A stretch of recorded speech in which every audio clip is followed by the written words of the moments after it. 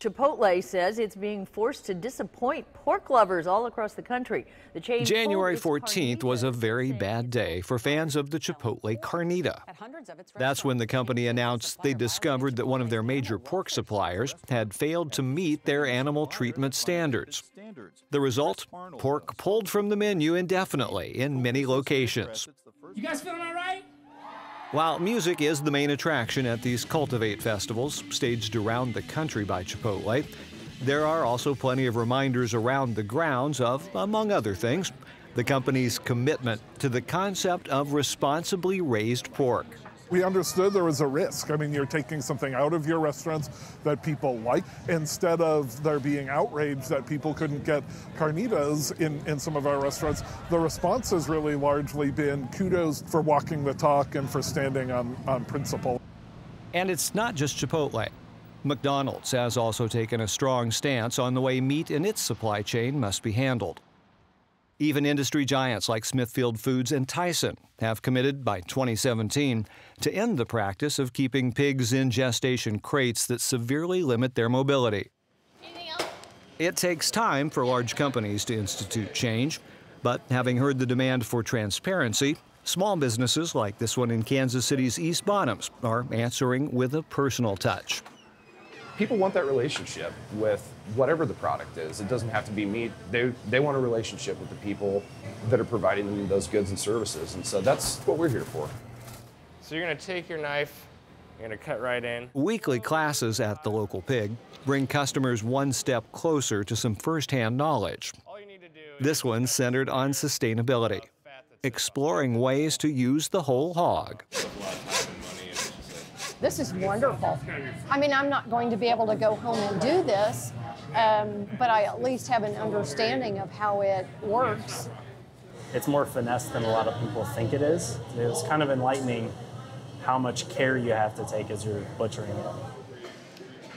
For this small shop, local means animals raised without antibiotics within 100 miles of Kansas City. That small scale also makes it easier to maintain an ongoing dialogue with their suppliers. For meat to have a future in the average person's diet, people are going to have to eat less of it. And because they're eating less of it, they're going to be even more focused on if I'm eating less, I'm definitely going to up the quality of the meat that I'm eating. Caring enough to pay a little more is what Heart Brand Beef is counting on from consumers. This ranch near Austin, Texas, has been raising Akaushi cattle since 1994, when a specially equipped 747 brought eight cows and three bulls across the Pacific. All the cattle that we're seeing here today are direct descendants of the Akaushi from Japan. And we take the full-blood Akaushi bulls and put them on regular uh, commercial or domestic cattle, and, and even with that 50% Akaushi, still able to produce really great, delicious beef. Flavor is, of course, highly subjective. But as a breed, Akaushi excel at producing intramuscular fat, i.e., marbling, which usually correlates with high end eating. Bill Fielding, who'd spent his career working for companies like Cargill and Farmland, was skeptical at first, but this experience with small meat has changed his tune. We've got now six years of history which show crossing Akaushi bulls with any other cows. On average, we, we come up with 30, 35% prime.